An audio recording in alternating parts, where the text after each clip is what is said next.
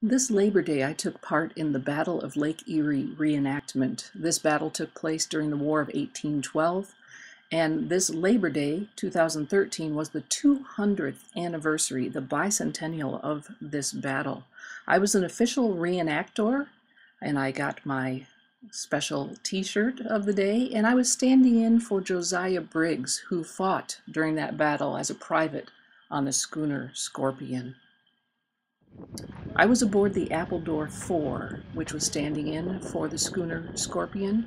It was a rather cloudy and uh, threatening day when we headed out of port, out of Put-in Bay. But by the time we got to the battlefield, it had cleared off and it was a beautiful day and the battle site was ringed with hundreds of pleasure crafts out there. Everything from a, a small sailfish uh, up to huge cabin cruisers. The Appledore was the lead boat, uh, and we could see the other boats lining up behind us. This is the Niagara directly behind us in the American line for this battle.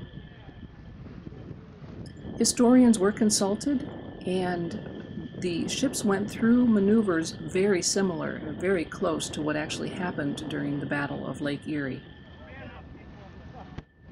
When cannon fire was first heard, a cheer went up from our boat. The battle was underway. See the cannon smoke drifting across the water. That's one of the British ships across from the American line. Ships came from all around the United States and one from as far away as Norway for this reenactment. This was the largest naval battle reenacted in American history. Our little boat had this tiny little cannon which shot a shotgun uh, shell size uh, cartridge. The crew took care of this. They locked it, they loaded it, yelled out locked and loaded, and then fire in the hole before they pulled the trigger. Even though it was little, it was pretty impressive, the sound it could make.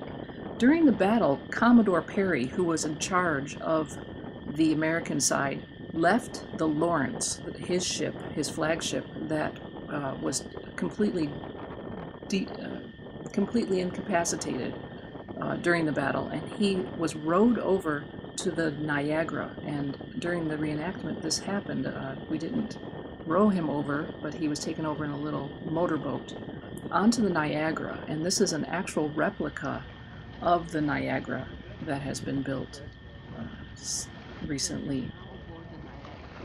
And during the battle, Commodore Perry ordered this ship, which was still functional, to, go, to sail right into the British lines and to fire off both sides of the ship, broadsiding the British ships and completely incapacitating them. This was the first time the British Navy had lost a battle. There you can see it firing out of both sides of the ship.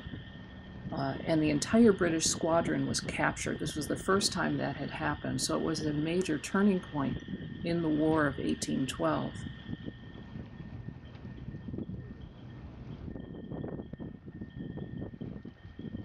This is the Niagara slipping behind the ship from Norway standing in for one of the British ships.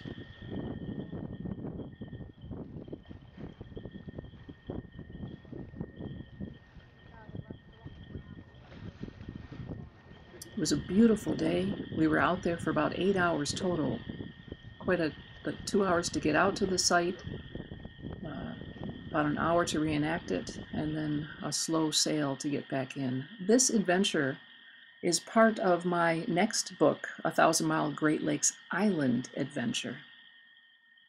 Please follow me and my book tour at laketrek.com. I'm currently touring with my, my latest book, A Thousand Mile Great Lakes Walk, which won the Great Lakes Great Reads Award. I'm very proud of that, and I hope to see you along the way.